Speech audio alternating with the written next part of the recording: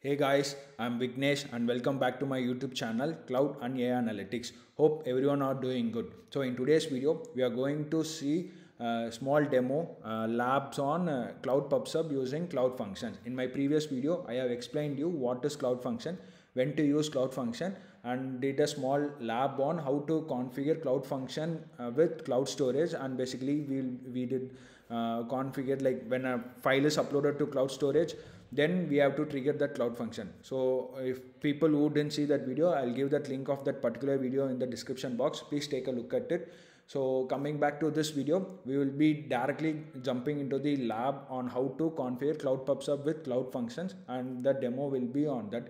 It is a very small and short video uh, and without any further delay let's get started so to do that i'll go jump into my google cloud console. So this is my google cloud console.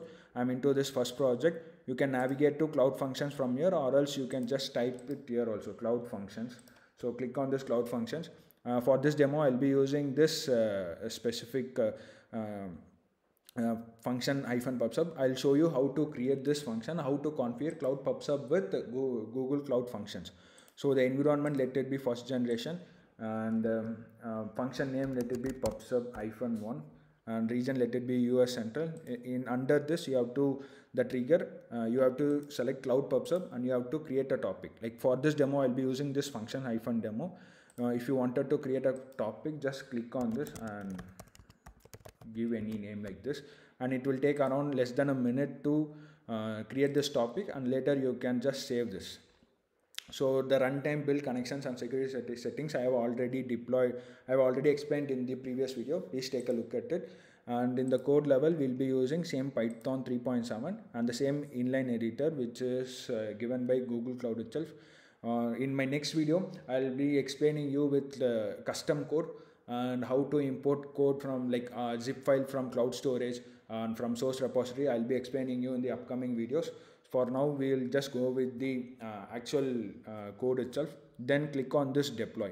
So if you want to uh, go to the next tab you can go here or just click on this deploy. It will take around 2 to 3 minutes to create this instance. So after this this is the instance which we'll be using here. Uh, this is the instance which we'll be using for the demo. The same metrics details source variables triggers permissions logs everything will be here on testing. And under this topic uh, go to like open this google cloud console and search for pubsub. Or again you can navigate it from here.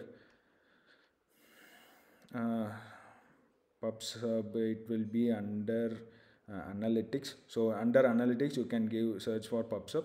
So this is the demo which we'll be using for this uh, this is the functions hyphen demo we'll be using for this demo as well and just you if you wanted to configure you have, you can add cloud functions here as well or if you wanted to import. Like basically we will be seeing uh, what is cloud pubsub and we will be exploring a lot about cloud, cloud pubsub in the upcoming videos as well. I'll make videos on that as well.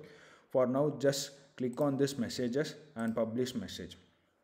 So just add message. This is my first and on with cloud pubsub so just click on this publish message and you will get an uh, a message saying that message has been published. And now if you go to cloud functions uh, again come to logs. Basically uh, you can use this function to get triggered like you can uh, refresh as well. So now if you see this is my first hands-on with cloud pubsub. So and then you can even pass uh, uh, that message no? Even you can pass json message as well so basically you can give name any name and uh, designation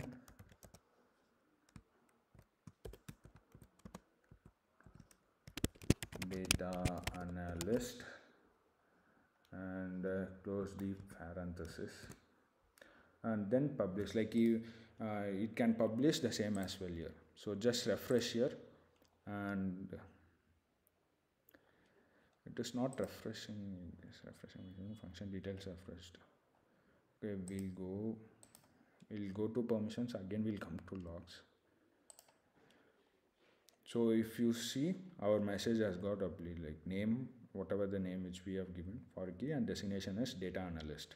So this is the uh, json message and this is the string message. So that's it for this video. Um, i hope you learned something from this video how to configure cloud pub sub with cloud functions. I'll use more uh, uh, custom functions and custom uh, custom code in our next upcoming videos as well so that you can get the exposure of what is happening in the real time as well. So that's it for today's video. If you have any questions or any doubts please post that in the comment section. I'll take a look at it and reply it reply to it as soon as possible please uh, like uh, uh, comment and share share it with your friends and subscribe to cloud and analytics.